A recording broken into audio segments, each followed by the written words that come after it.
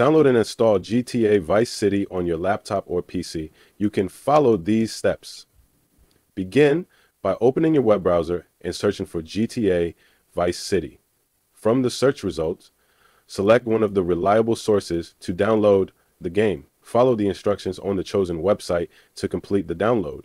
Alternatively, you can use the Steam platform and type GTA Vice City. Once the game's page loads, click on Add to Cart. Then you proceed by selecting View My Cart, followed by Continue to Payment.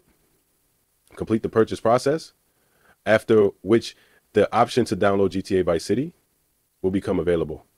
Once downloaded, install the game following the on-screen instructions.